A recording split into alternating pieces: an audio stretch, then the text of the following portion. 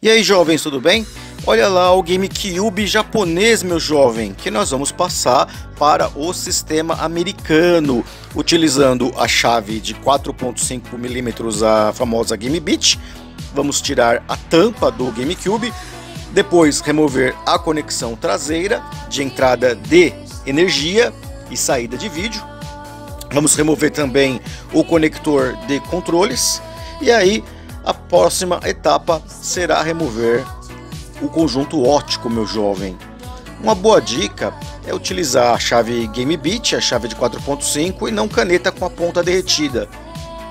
Tirou o cooler, já pode fazer a remoção do conjunto óptico. Sempre lembrando, jovem, de não tocar as partes metálicas. Use uma luva, use uma pinça para não ficar aquela mancha, aquela impressão no metal.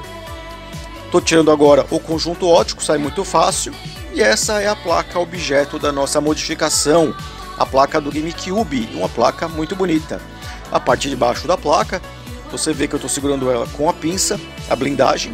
Essa blindagem protege a placa do componente ali que é a fonte interna, meu jovem. WD nos buraquinhos, meu jovem, para evitar rachadura. E essa aí é a placona do GameCube. Vamos ver agora onde é que nós vamos soldar. O ferrão está apontando ali para você.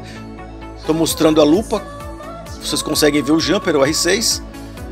E aí você vai apenas fazer um pinguinho de solda e ligar os dois. Por que, que os vídeos tem que ser gigante para montar isso, jovem? É só dar um pinguinho de solda ali. Vamos montar de novo o GameCube. E aí você me pergunta, coloca uma chavinha para escolher japa e americano. Quem que quer escolher japa, meu amigo? O negócio tem que ser forever americano. Até a próxima, jovens. Solda os pontos aí.